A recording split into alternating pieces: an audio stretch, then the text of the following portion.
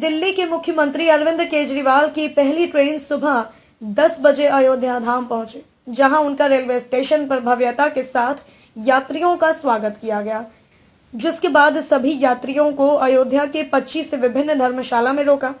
तो वहीं विश्राम के बाद अयोध्या में भगवान श्री रामलला, हनुमानगढ़ी, कनक भवन नागेश्वर नाथ मंदिर, सरयू घाट सहित अन्य कई जगहों का दर्शन कराया जाएगा। वहीं दो दिवसीय यात्रा के बाद 5 दिसंबर को ट्रेन दिल्ली के लिए यात्रियों को लेकर रवाना होगी। इस यात्रा के माध्यम से पहुँचे यात्रियों ने केजरीवाल का धन्यवाद देते हुए कहा कि दिल्ली सरकार दिल्ली वालों के लिए श्रवण कुमार है।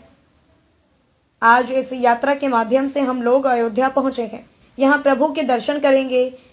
हम लोगों का यह सौभाग्य है कि आज अयोध्या पहुँचे और कहा कि हम रामलला से दुआ करेंगे।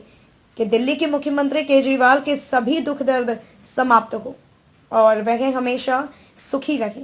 इस स्पेशल दर्शन ट्रेन यात्रा में 960 यात्री अयोध्या पहुँचे।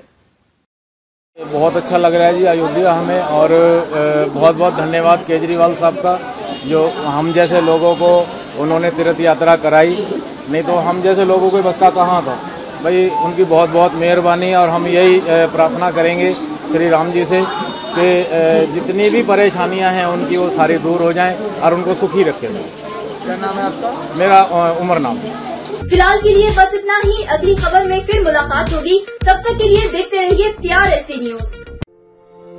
आप हमारी वेबसाइट पर भी विज़िट कर सकते हैं। हमारी वेबसाइट है www.prstnews.in